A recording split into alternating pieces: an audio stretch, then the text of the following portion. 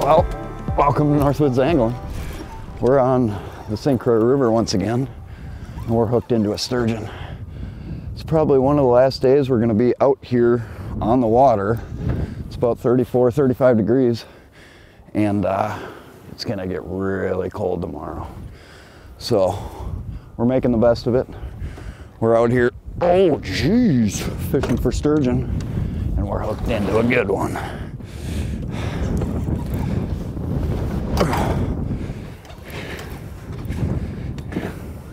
Now the cool thing about these is, there he is.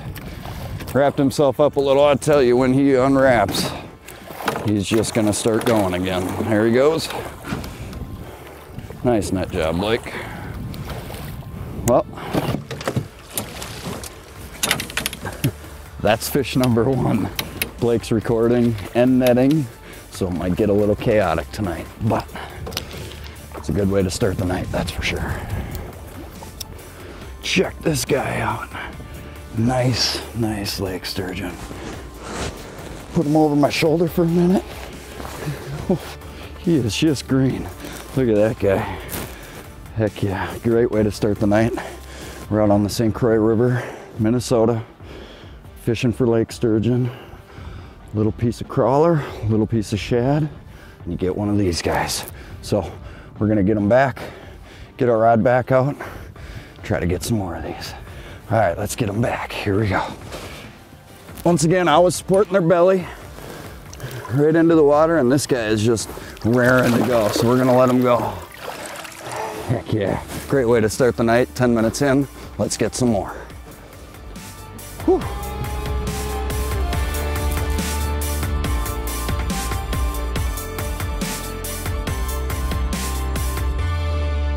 Oh boy. Early on in the night, big fish, small bite. We just barely seen the rod tip quiver a little bit. I reeled down hard on the fish. Jacob got the camera rolling and this is a bruiser. This thing is really pulling some drag. Sometimes uh, big ones got a lot of fight in them. Sometimes the medium ones do too. Can never really judge them. I recover a couple feet of line. It pulls a couple feet of line. You don't want to uh, bear down too tight on them because you can bend out your hooks thicker the shank hook, the less penetrating power it has. So we like to pick something in between. These 9-aught, excuse me, 7-aught Charlie Brown hooks are really good for what we do. Get them from our sponsor Dave Ashby over at Bottom Dwellers Tackle. There's only two of us out tonight. That's a good fish. So I'm gonna net that one myself. Heck yeah. Nice fish. Thank you. Not the biggest one I've caught, but the biggest one of the night. It is a dandy. Nice thick bodied fish. Probably approaching that 60 inch mark. High 50s. There you go. Still a little green, still wants to curl up on us. But a uh, great way to kick off the night. A couple fish in. Impressive showing so far. Nice girthy, healthy lake sturgeon. Go back with the release immediately so I can get my bait back into the water. The big lumbering giant returns to the depths. Let's get the baits back out, catch more of them.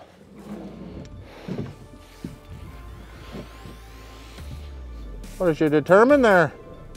Professor. Need some more bait? Well, let me turn on a little light for you. How do you like that? How do you like light me now? That's a heck of a light joke that I just came up with. There we go. Put the bait on. Uh, step two, Eric Trubin book. You just chuck bait out. Yep, right over there. Jack with a chuck. There you go, chuck chuckaroo. Splickety sploosh. Another fish on the heavy action Tomcat custom rod. it's kind of exciting. Haven't caught too many on this one. Feel like he's wrapped up.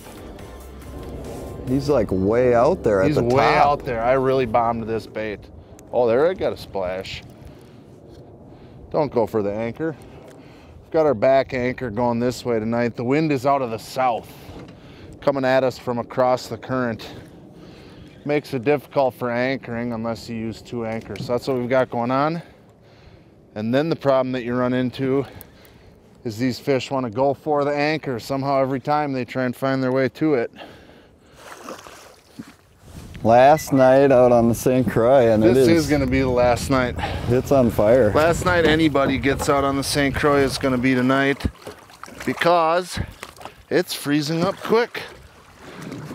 Check out this guy. Oh, the bigs keep on getting bigger. There we go. Rest him on my leg. Hug him. The bigs keep on getting bigger and they are feisty tonight. They really, really want to stretch the line out for us. So the more the merrier is the name of the game when we're fishing with these things. When you get into good fishing with lake sturgeon, it can mean 20, 30, 40 fish a night. And uh, in the short time we've spent so far, we're on pace to do just that. So I want to get this bait back in the water, get this guy unhooked. We're uh, hovering right above freezing right now, so you can have him out for a little bit, but got to get him back into the water. You want me to help you? Help me out, Jake. Just like we go. that, real quick. Charlie Brown's come out real quick.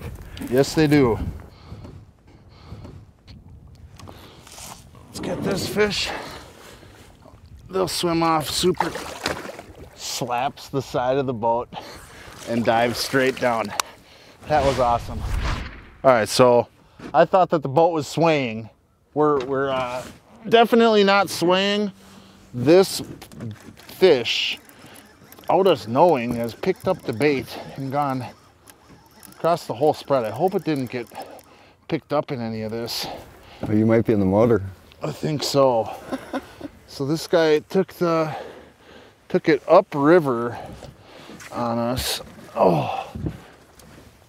I thought that the boat was swaying. I was over here getting the other line rigged up and I seen the line moving, but I thought that the thought that the line was swaying. We kind of came off the back anchor a little bit. All right, we're hooked up with another fish.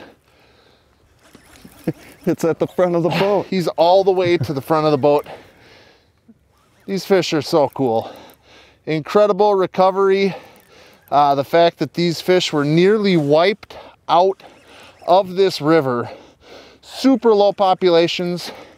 And with the help of special management rules and efforts from uh, You're in the front anchor. cooperative fishermen. Get up here. Do the dance. Oh boy.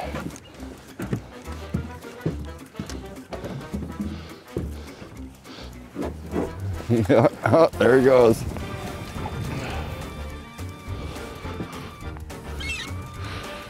I don't think I got it. I think he went around it. But I think it might be a really good fish. No, it's just all anchor. My hands are so cold, frozen, soaking wet.